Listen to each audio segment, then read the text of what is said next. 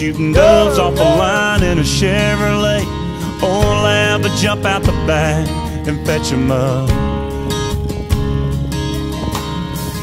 We'd drive for miles and miles and never once hit blacktop or change a dial.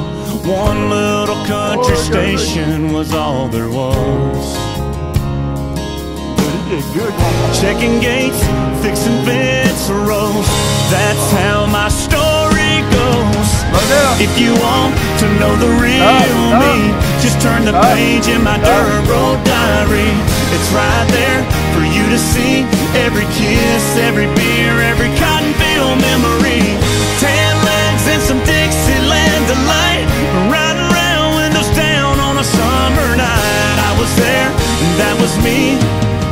It's right here in my dirt road diary.